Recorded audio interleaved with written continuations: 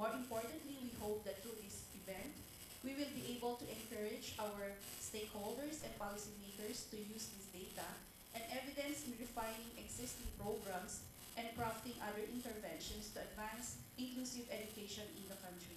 So to formally begin our forum, may I request Attorney Alberto Muyot, Chief Executive Officer of Save the Children Philippines for the welcome remarks.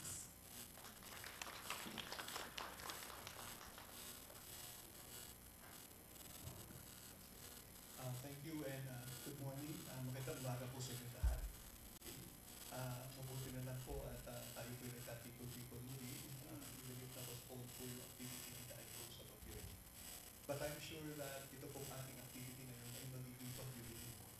Kaya yung ating po mga researches na napakalaga okay, ay talaga po makakatulong upang tayo po ay mabigyan po ng inputs sa pag-develop po natin ating mga programa at hopefully for national government agencies to yung pong development ng mga polisiya. Sa ating pong mga panauhin, uh, led by uh, PIDS Vice President Dr. Maricel Ballesteros and my good friend uh, Dr. Jose Ramon Albert. Okay. Uh, sa office po ni Congressman Romulo, si Attorney Debbie Catalina uh, Martinez Negre, umaga po. Yung aking po mga kaibigan from Norwood Foundation, who I've been uh, working with for more than 20 years. Especially Marie uh, Saronon, okay, from uh, PACDLD, Ms. Uh, Felicite J. Gonzalez, from UST, Professor Karen Sabil Tanco, from CWC, si uh, Ms. Ramil Villafranca, sa Taramil, okay, from KNK, uh, uh, Philippines, Ms. Karen Rivera Estrada, from BSP, Mr. Christian Mina, okay, uh, from um, Indigenous Peoples Association, Ms. Carol Saribay, at uh, Ms. Helen Navarra, at from INET, Ms. Mexico, among some of our most esteemed uh, uh, examples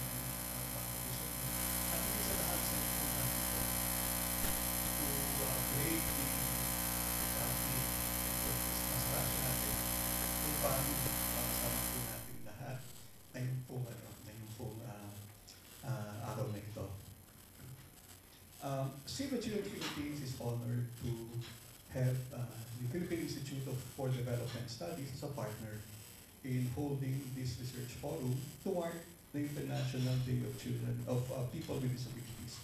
Lagi ko po nasasabi children. Kasi po yun ang trabaho ngayon, children po. Okay. And uh, recently, okay, Save the Children conducted a series of activities to celebrate, raise awareness, and call on duty bearers and stakeholders to continue the fight for the fulfillment of children's rights. While the event symbolize our commitment to advance the needs of all children, especially those who have been neglected and marginalized in the past, there is a lot more to be done to address their needs, to remove barriers from, and especially within education. In the light of this situation, Save Children focuses its innovative, life-changing development programs uh, for children in the most deprived and marginalized situations, including children with disabilities. Due to deeply entrenched social stigma and misconceptions about disability, children and youth with disabilities suffer from an intersectionality of vulnerabilities.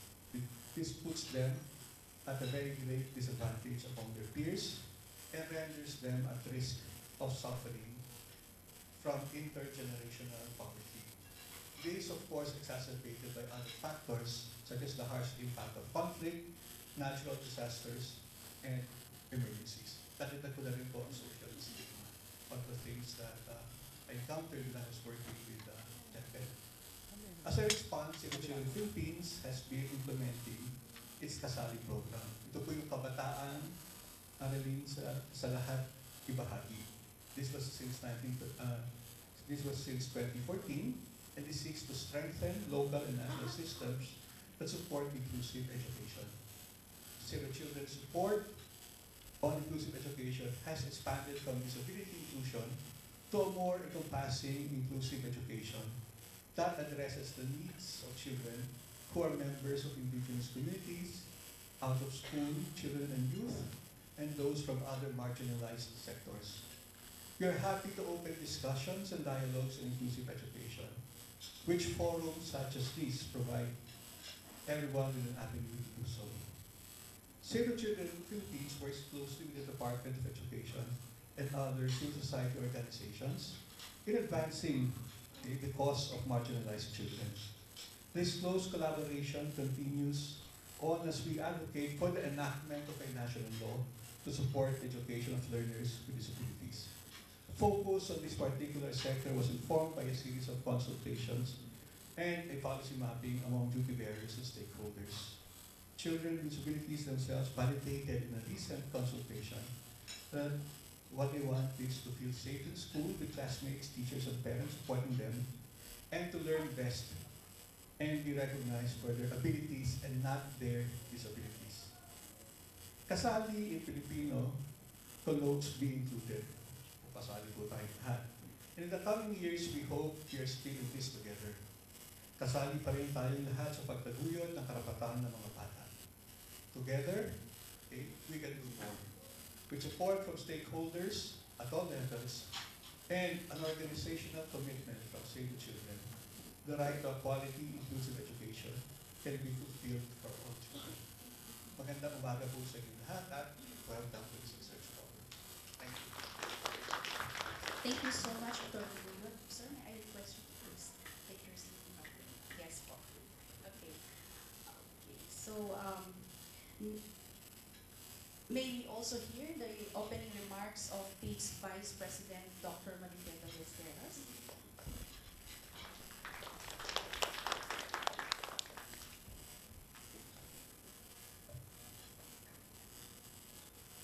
Good, uh, good morning to everyone. Uh, this is actually our PIDS first partnership with Save the Children Philippines. And uh, I think this will not be the last. I'm sure it will not be the last. Uh, we have similar interests in terms of uh, pursuing issues on welfare of children as well as their families. Okay, um, so this forum on inclusive education is actually very timely. Uh, in the past uh, few days, we have heard most positive news about the economy. Poverty uh, incidents have been decreased by 6.7 percentage points. Our unemployment is down by, uh, uh, by, by less than 5%. And in sports, we, we are the overall champion, the recently concluded uh, uh, Southeast Asian Games. However, in terms of the education achievements, this is, this is, is, the, this has been, the, the news is actually not that good, not very good, and that is, um, from the results of the recent, um, performance, for international student assessment or the PISA. So the Philippines is actually, uh, at the bottom of, uh, among, among, uh, uh, among, uh, uh, countries in the OECD. Okay. So, but I think is not because government neglected uh, basic education in general. In fact, if we look at, at the programs in the last decade, we have been actually uh, providing uh, a lot of, uh, of, of um, uh, programs as well as budget in terms of basic education. We have the subsidies on uh, given to the poor household to send their children to school. We have alternative learning systems.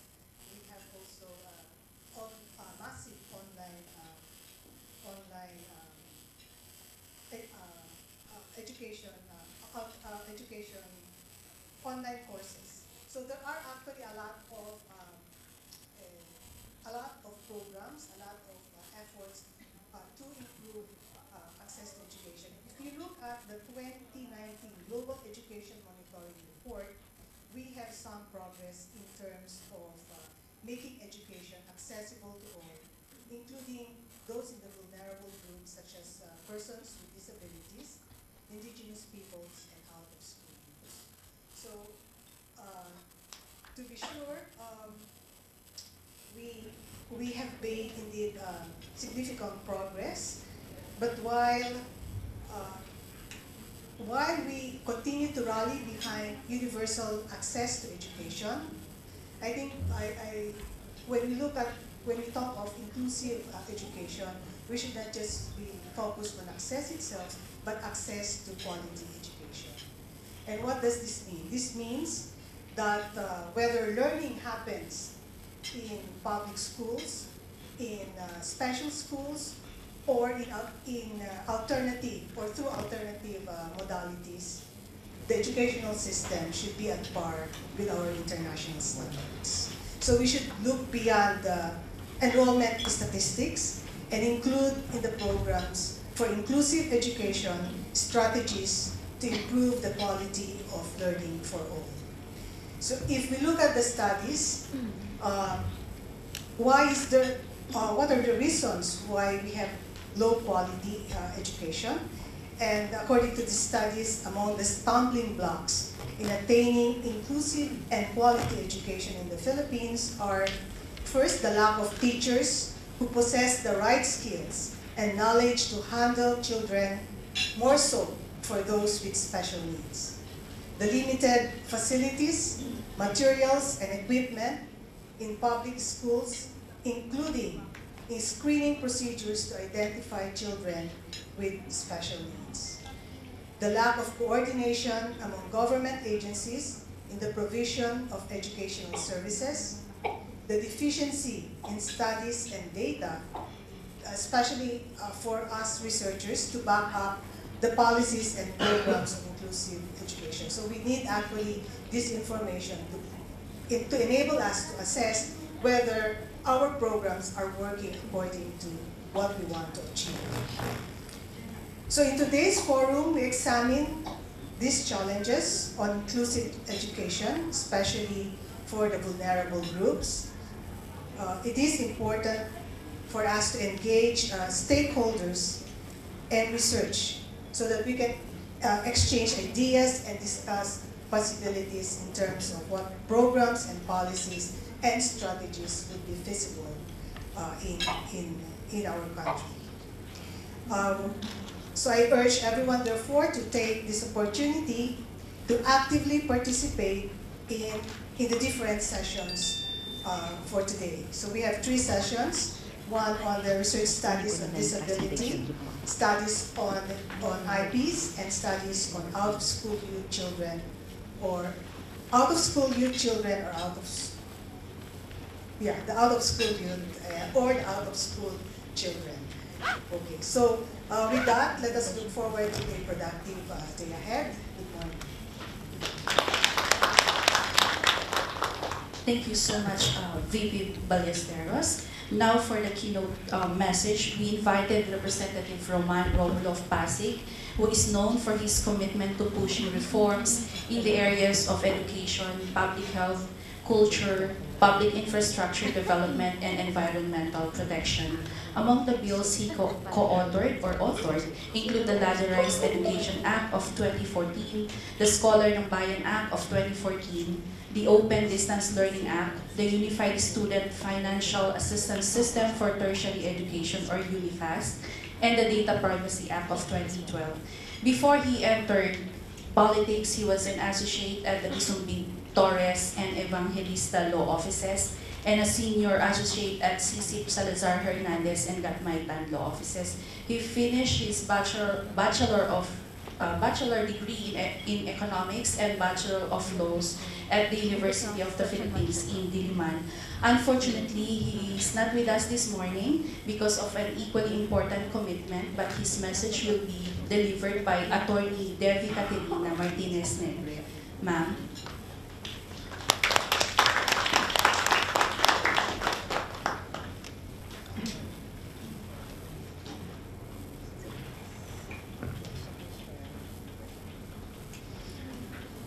Thank you. After listening to that um, introduction of uh, Congressman Roman Romulo, I'm sure he would be very pleased. Um, he would have wanted to be here this morning, however, he has a previous out-of-town engagement. Nevertheless, he knows how important this forum is. That's why he asked me to be here before you to read his message. Um, actually, I called out Lori yesterday um, afternoon, just wanting to be here and listen to the different na lang, ha? researches done, and also to help us in our policy making, to help uh, uh, Congressman Romulo. But then I was told that I have to deliver his message, so we rushed a, a message to be read before you. Attorney Alberto Muyot, Dr. Marife Ballesteros, our presenters, reactors, fellow civil servants, ladies and gentlemen. Let me congratulate Save the Children and the Philippine Institute for Development Study for organizing this forum and bringing together various research studies which aim to give us insights of the real situation of children and youth who needs our special and urgent attention. At the House of Representatives, we are working tirelessly to pass bills to provide that inclusive and quality education. One of the noteworthy bills that we are seeking to enact is a bill instituting inclusive education for learners with disabilities. Through this bill, we will be able to provide learners with disabilities free and appropriate public education and related services in accordance with their needs. By this bill, we hope to facilitate the inclusion and integration of learners with disabilities into mainstream education. By this bill, we hope to be able to establish learning resource centers in each district with adequate teachers and therapists to ensure that the learners with disabilities fully develop their potential towards self-sufficiency and become fully participative members of the society. Congressman Christopher De Venecia, chairman of the Technical Working Group, consolidating the various rela- related bills on children, um, learners with disability, and the other congressmen members of the Committee on Basic Education are earnestly listening and considering, considering the suggestions of the various stakeholders, including Save the Children in creating a bill that will truly be beneficial to learners with disabilities. Inclusivity is foremost in the minds of your legislators, and we keep to heart the battle cry, no one is left behind. The right to access quality education has always been our top priority in policy making, and we are proud to help all of you as our partners in our advocacy of creating such climate conducive to learning and progress for our children, especially the disabled, the out-of-school youth, and the indigenous children, to be able to reach out to the unserved and underserved. Although we have taken many steps towards advancing inclusive and quality education, there is still much more we need to do. This is why this forum, organized by Save the Children and Philippine Institute for Development Studies, is of utmost significance. The discussions this morning will hopefully allow us to bridge the gap as well as ensure a meaningful and quantitative implementation of inclusive education for our children. May we, through the strength that we share with one another, take more significant steps in recognizing, protecting, and expanding the rights to education of the children and youth. Magandang umaga po. Thank you so much for that well-delivered message, Attorney Devi. May I now request um, Attorney Muyot and VP Peng to please hand over our token of appreciation to Attorney Devi.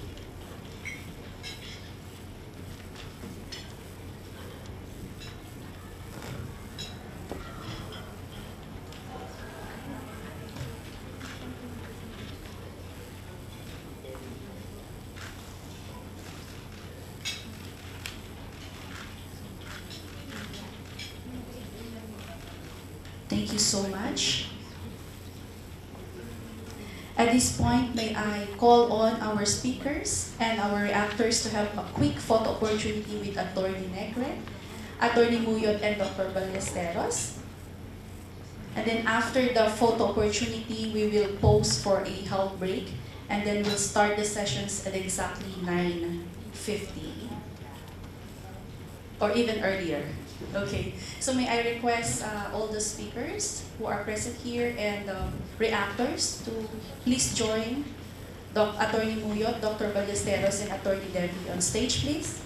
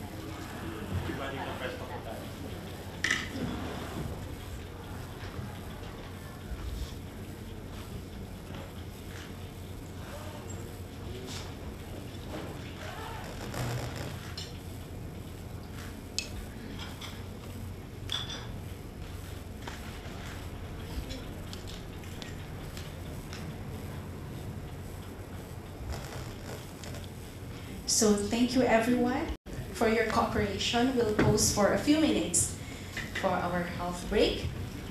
And uh, we'll start our uh, first session at exactly 9.40. Thank you.